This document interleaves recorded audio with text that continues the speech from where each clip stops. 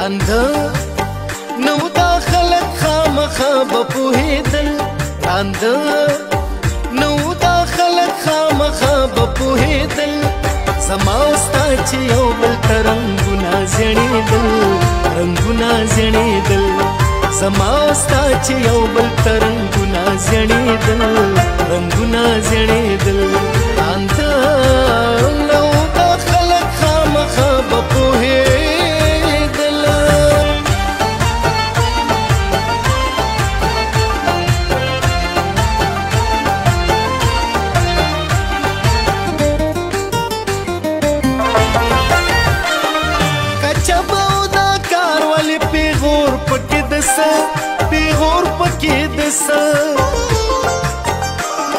کچباو دا کار ولی پیغور پکی دس